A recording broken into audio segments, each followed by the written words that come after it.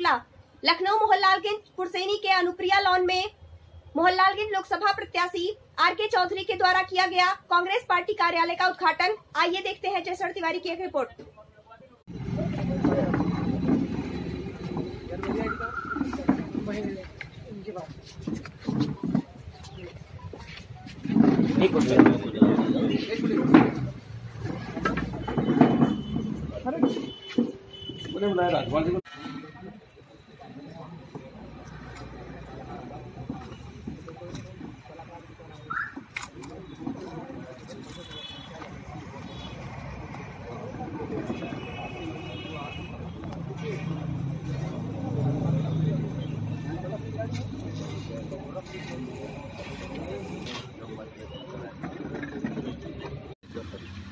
आज चार दिन है।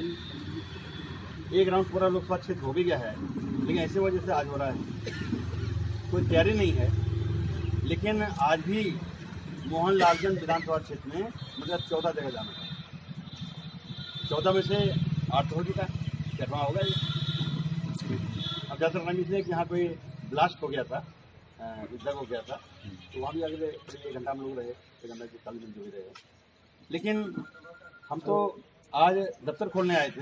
दफ्तर खुल- गया तो दफ्तर अच्छी जगह ना? तिवारी जी कहाँ गए? तो तिवारी जी का आभारी हूँ भैया त्रिपाठी जी का? आभारी हूँ। और इस दफ्तर में कभी कभी हम भी रुक जाया करेंगे। वरना जो दौड़ा करने वाले हैं, लोग हैं, वो यहाँ ही खाएँगे, रुकेंगे, चाहे घर जाएँगे, चाहे यहाँ सोएँगे व्यवस्था रहेगी। ये बड़ी जगह है, बड़ा दफ्तर है। आज दो दफ्तर खोलना था गोसाईगंज में एक यहाँ दो दफ्तर खोलने चिकन चक्कर में टाइम दे दिया तो उनको चौदह जगह प्रॉब्लम लगा दिया वरना अगर दो जगह होता तो आज साथ मंच माई टिकट लेके हम लोग करते। देखिए जो हो गया हो गया।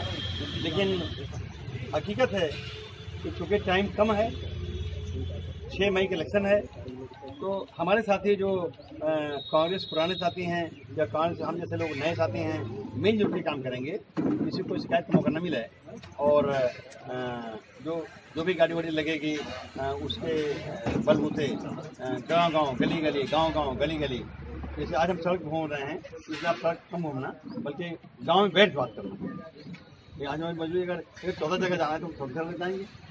लेकिन एक दिन में अगर पाँच गाँव छह गाँव भी आप चले जाएँगे तो फिर उस गाँव में आपकी बात पहुँच जाएगी। और मोटी तौर पे कि कांग्रेस पार्टी ने बहुत पहले इस देश की गरीबी को देखते हुए मनरेगा शुरू किया था। उससे मजदूर वर्ग को सहारा मिला था आगे बढ़ने के लिए। अब नरेगा पार्ट टू करके कुछ काम करें पानी है, बिजली है, सड़क है, इसके लिए काम करना तो जहाँ तक मोहनलाल की बात है तो मैं किया हूँ।